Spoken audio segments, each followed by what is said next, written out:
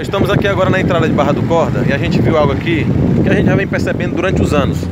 Aqui é a barreira policial da Polícia Militar, a gente sabe que é uma barreira às margens da BR-226, mas que a Polícia Rodoviária nunca fez nenhuma, nenhuma proibição quanto a essa barreira aqui. Uma barreira de anos e anos e anos e anos e anos. Ela sempre funcionou, mas desde que o governo Flávio Dino assumiu, ela funcionou por alguns dias, por alguns meses, e ultimamente ela está fechada. Está lá, ó, a barreira lá no final fechada, né, aqui da Polícia Militar.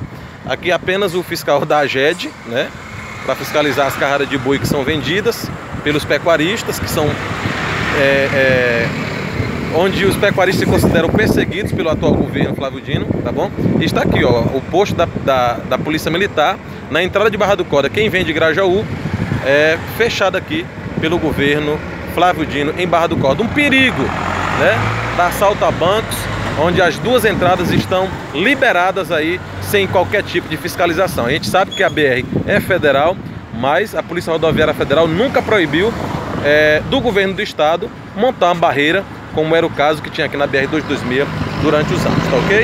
Então, estamos aqui fazendo essa crítica ao governo Flávio Dino, que acabou com as duas barreiras policiais que existiam na entrada de Barra do Corda.